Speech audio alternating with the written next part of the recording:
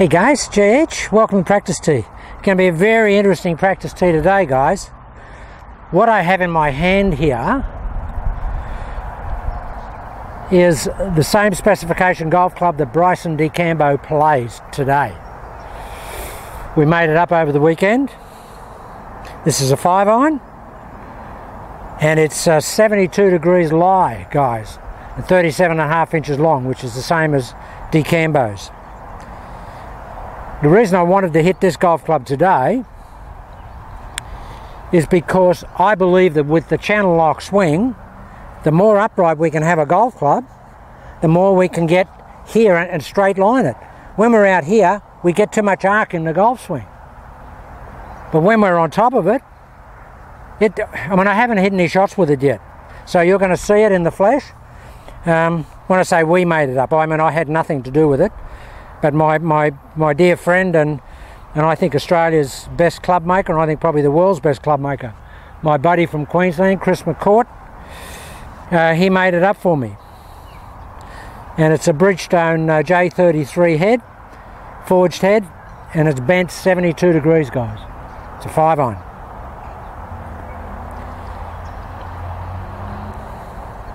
Well, it's actually a four iron head because that's the only one we had that was soft enough but we bent it to um, to five iron loft.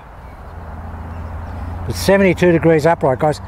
And when I first got it, I, and I put it here as a convention, I thought, oh, you couldn't swing with it. Although DeChambeau does because he has his hand here, and that's how he can swing like he does. Because if you have your hand like that with that amount of bow in it, the toes way into the ground, and you can't swing it normally. But it's um, I don't know, guys. I don't know how it's going to go. You're going to see it live, and it might go, it might go along the ground. Who knows what it's going to do? And I haven't had a swing today, and I wanted to come down. It's late. Just wanted to hit this way so we could see a bit of ball flight.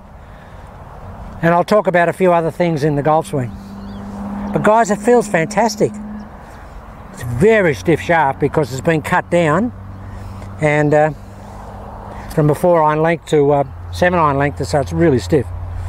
And of course, it hasn't got the technicalities that DeChambeau's clubs got, or the Cobra uh, one length club. So it, it, you know, it's a Frankenstein. It's not really a, you know, a golf club that's really designed to work in terms of its uh, frequencies and balance points and all that. But we'll just hit it and see what happens. This is in the raw, guys. This is JH experimental with the Frankenstein, 72 degree uh, five iron. Well, it's a four iron bent to five iron, but seven iron length. And we had to, because when we cut it down, we had to, well, I'll just show you this. Look, we had to put all this, all this uh, lead on it. Here, look at all the lead we had to put on. We had to do that to get the swing weight up because, you know, it just ended up in the, uh, in the seas because we took so much off the length of it. So this will be interesting. I have no idea what it'll feel like. And these are blades. These are a set of cavity, like two of blades. Um, so it'll be very interesting. And I don't play blades. So this is going to be, this could go along the ground. So here we go.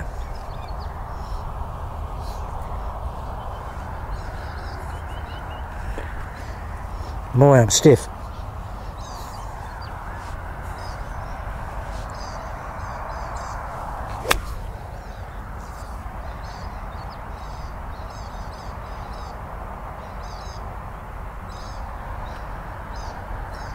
Well, that's interesting. That's the first hit with it. And because I'm used to playing my golf clubs, which have got only 55 gram graphites in them, and the clubs are very, very light, this club has come down really, for some reason or other, maybe where we got the the lead, it's just it's just so toe fast that just trap toed it and just just hit it up there. So in order to hit this, I'd really have to to hit into out way more and play it back further.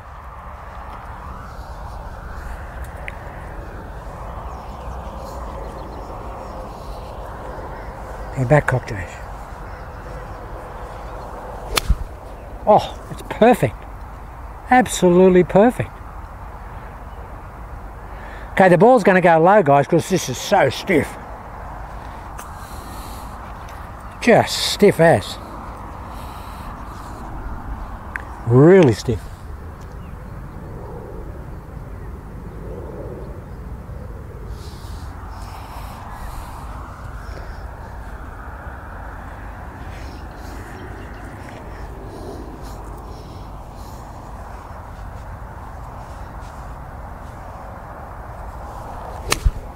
Oh, give me a set.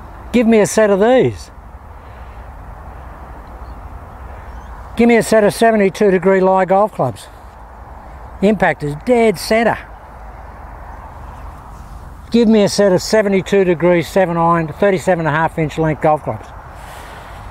In my, in a nice lightweight set of graphites with some modern heads. I mean, that's just fantastic. Absolutely fantastic. These old Bridgestone forged blades with the steel shaft, they just, you know, just, just like the old days. Club's so much heavier than my, my golf clubs.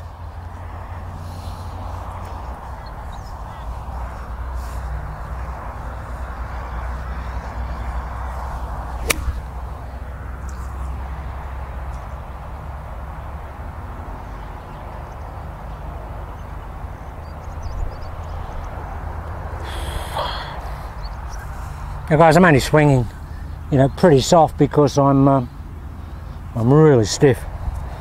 Been in the gym for two hours. All right, warmed up after three. I'll give this a bit of a hit.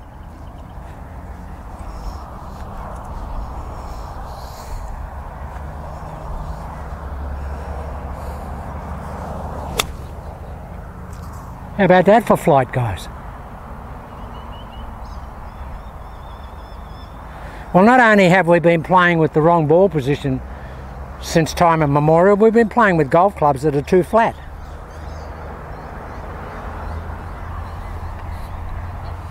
How do you pick up a golf club that is 10 degrees,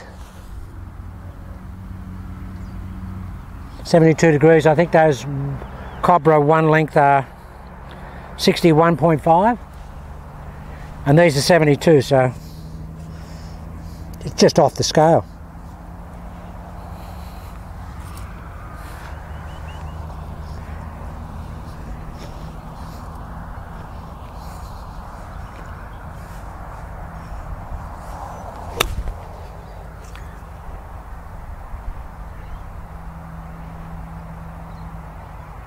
I don't know guys, I, you can't do it better than that.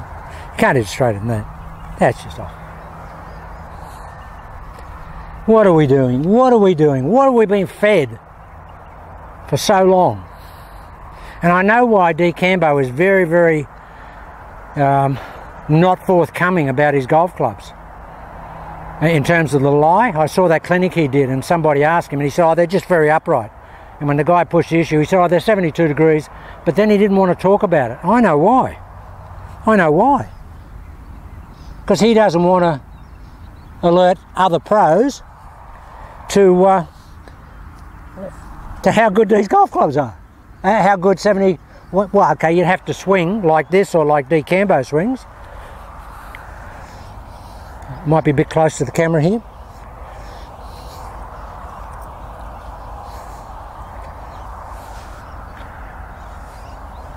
I hit it up the right a little bit.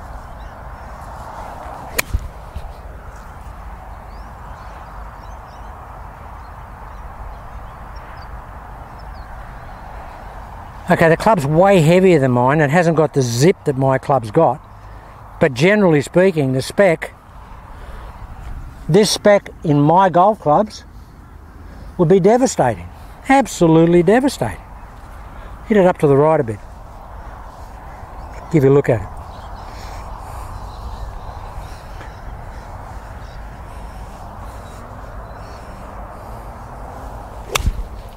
How about that, guys? Look at that for ball flight. I mean, that is just Exocet laser missile. Now, that went a long way. I've got used to these golf clubs. As Mo Norman would say, Took me a while to get used to those, like five shots. I hit some out this way. You might see it better.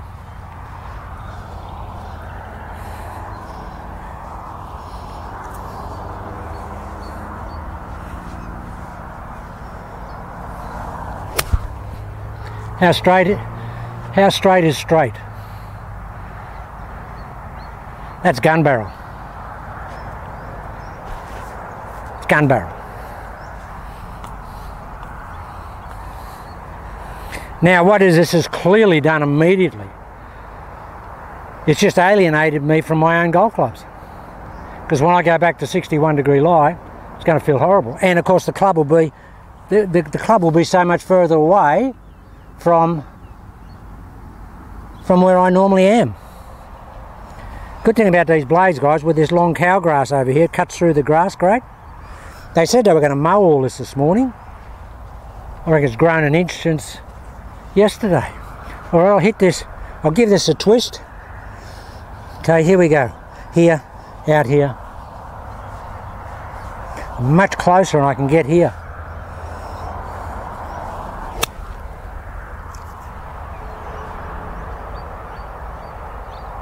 I hope you can see the ball flight. I really hope you can see the ball flight. This time of the day, you really should be able to see the ball flight. Hit it out to the right there a little bit. Over here, back cock it.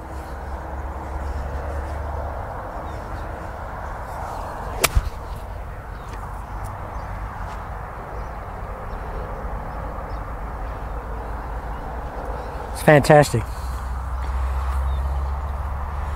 Well, the club's club is really heavy, amazingly heavy compared to my golf clubs. And it's physically what we've done by putting all that that lead on it. We've made the head very heavy. We've gone for swing weight, but we've now made the head super heavy. And I can feel it. It just feels like an anvil. I've no idea what DeChambeau's golf clubs uh, are in terms of swing weight. Well, I'll hit this hard. Come on, Joe. You warmed up half a dozen shots. Okay, let, let's let's let's get it going. Look at that, guys. Look at that.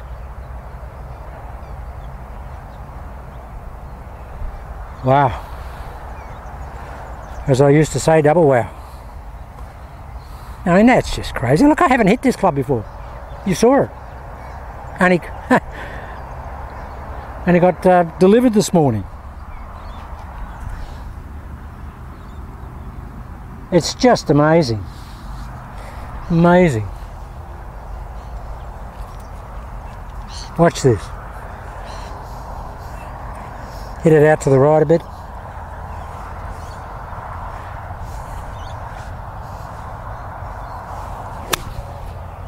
Well, guys, I've never, ever ever, ever hit the ball straight as that.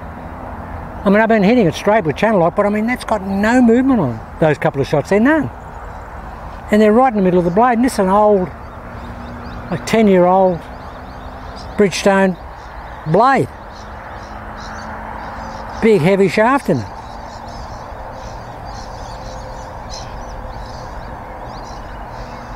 And I, I that head now is oh, so much lead on it. Looks like it's got so it's got 30 layers of, of lead on it. So it's very heavy.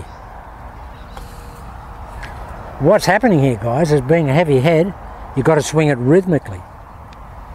Okay, that's the club. That's a new spec. All right, let's talk about channel lock.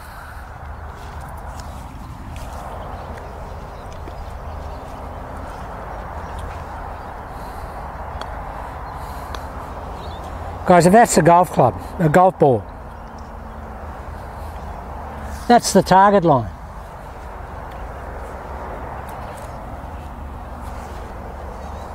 That's the target line there. If I set up on that there,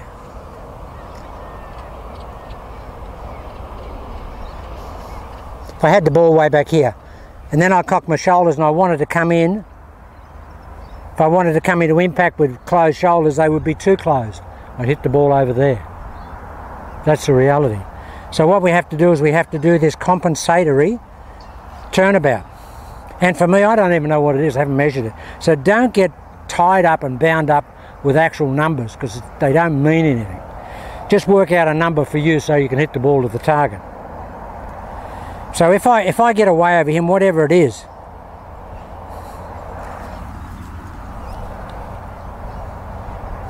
I go from here, I turn, I move away here. That's the foot line. That's probably 55 degrees.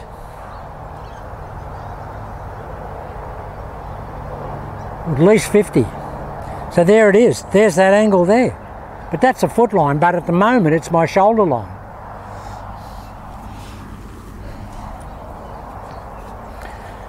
So I know I can't hit it from there. So I have to get my shoulders back on that, that line there. So how do I do that? I've got to back cock them to there. Now when they're back cocked, they're in line with that, or a little bit to the right of it, which is great. That gives me that little bit of closed down um, configuration, which is what I want. Now watch my shoulders, guys. Watch the shoulders.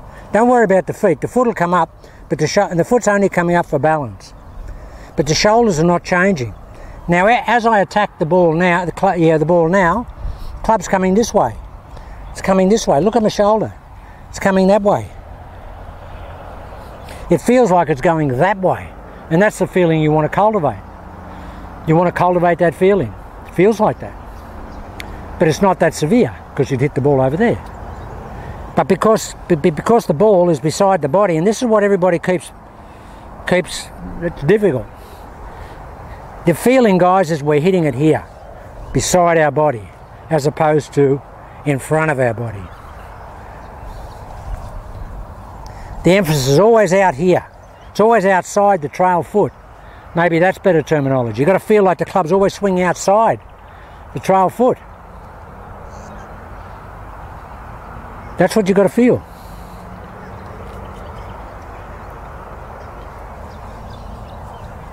So we get square. We turn, we step away, we bring this up for balance, but look where my shoulders are. There. If that's my target line there, I'm going to be hitting just across that target line out. Now, depending on where you're aimed, relative to your target, if the club face is square going across that line on a tangent, it will push the ball. Now, you can just push the ball straight to the target. If you don't want to do that, um, by aiming a little bit further left, you can just shut the face down a little bit and you could just push draw it. I don't know what my face configuration is, but it basically only hits a tiny little draw dead straight. Now I don't know what the numbers are, but I can feel them. I can feel what the numbers are. I don't want to think about numbers. I don't want to think about 45.5 or 26.8 or whatever. I just want to, I want to think about a feel that I've got. That's all I want to think about. Uh, more to the point, that's all I want to feel. I want to, don't want to think about anything else. I just want to feel that. So guys, I don't know, other than having a camera up there, or having something diagrammatically put together, uh, and I've got a friend that might be able to do that for me, he's a graphic designer. I might be able to get him to do that and show something down here. But it's going to vary, guys. The main thing is you've got to get in a position, a position, where the ball is outside your body. It's over here It's outside your back foot. There. There it is. It's outside our body. Here.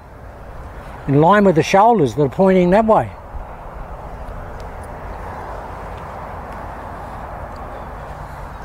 I promise you the light will go on.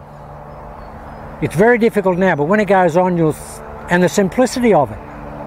Once you do that and you work those angles out and how to apply those angles in a complete protocol, a sequence protocol, the thing becomes foolproof and the swing becomes, or the ball flight um, starting um, direction becomes infallible. It has to start in that direction because the shoulders are dictating the club's going in that direction.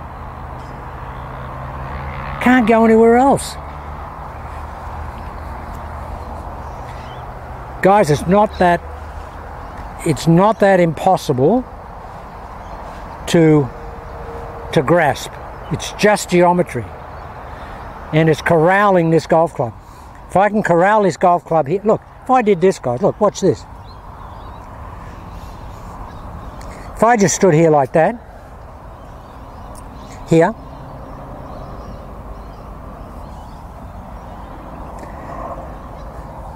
and just swung the golf, the golf ball like that as a feeling, okay, I can see maybe what some people are thinking. When I do that, I'm here and the ball is there, turned around. The club is starting outside the body and it's ending up technically in front of the body, but in front of the rear of the body, the, the rearmost extremity of the body, because it's opposite the, the, uh, the foot. If it was behind the trail foot, it would be outside of the body on that side. But technically, if it's in line with the foot, then it is in front of the body marginally. Marginally, but it's but the attack of the golf club never comes in front of the body. Conventional golf swing, there, the club will come from wherever over here, but it'll always come in front of the body here. This golf club never comes in front of the body at impact or past the centre of the body. Never. Because it's there, guys. It's there. This club can never get past the centre of the body. Can never get to over here. Now I don't know. Uh, I don't know what. I'm going to come up with better explanation. You've got to see something from here. You've got to see something from here. Maybe I get my cameraman, hook him up to a drone, and just elevate him up here. Guys, we're not a production house, we're a little... This is my practice fairway, and this is my practice sessions, and my development sessions. That's all they are. We're not trying to win the best uh, film graphics award, but I can understand why a lot of people are having difficulty coming to grips with uh, with the geometry. I've got to tell you guys, after having this in my hand and keep putting it down here, it becomes so natural. 72 degrees. It's not natural there, feels horrible there. Now, man, I don't know how DeChambeau plays from there. If DeChambeau played from here, you're talking about an ultimate machine. Because he hits it straight, but he can still hit it left. And he can still hit it left even with his on-plane swing. He Can still hit it left. He doesn't very much, but he still has potential to do that. There's no potential to do that with this golf swing, with this club, with this golf club.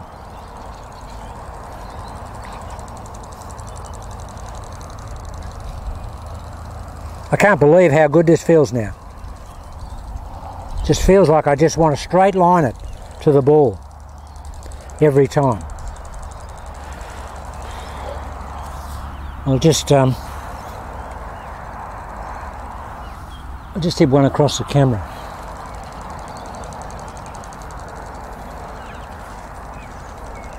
This club is so heavy compared to mine.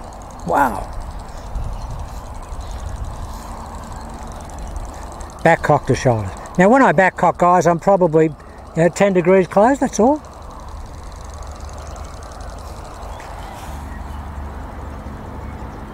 grass is so long.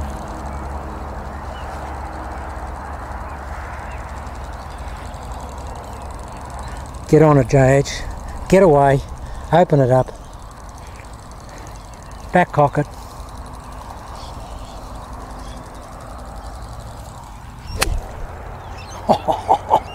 that is so perfect. Perfect. And this is a Frankenstein. It's not even designed to work like this, but it works great. Absolute Frankenstein. So if you could have a set actually made to the same specification as DeChambeau's, which I'll end up getting, you can rest assured. I'll just get a forged set of uh, the one length and we'll bend them. They'll be the same as this. Anyway guys, that's just a little bit of uh, technical uh, development and innovation. Well, I didn't innovate it, but uh, um, I've copied it. But it's amazing, absolutely amazing. And you know what? If you had a golf club like this, 72 degrees, imagine how good it'd be for chipping. Look at this. it's just like a putter. Most putters are 71 degrees. This is a putter lie. It's a putter lie. Look at this for chipping. Look. Just get here. Look. It's just gone straight under the camera. And does that feel good? Does that feel good? As a matter of fact, when Chris McCourt made this, he said to me, if you do nothing else with a J8, just put in your bag as a chipper around the green. It'll be unbelievable. And I'm going to, I'll do a video with it. Maybe tomorrow. It's fantastic. Okay, guys, just have a look at that. Just a little bit of innovation today. But club, we didn't hit any bad shots. Did that first one just because the toe just went over a little bit, just hit a hard slinger. But um, the rest of them were perfect. Okay, guys? There's a lot to come with this golf swing, and there's a lot to happen with it, with um, with with club specifications. And I'm going to get a driver now. We'll get a long old hosel, long hosel driver, and I'll get my buddy to bend it up. Uh, some of those old Taylors with the long hosels, the old burners, uh, super burner or the burner pluses, and bend it up. And I'll bend like today. Today's drivers are really upright. They're like 60 60 degrees. Hogan's driver was 40, 48. I've got it in the car. 48 degrees. So that's 12 degrees under a standard driver. So if I can get a driver knocked up to, you know, 55 degrees or something, oh, we'll knock it through your front door at 250 yards. Okay, guys, have a look at that, and uh, there'll be more to come on this this breakthrough with the specification.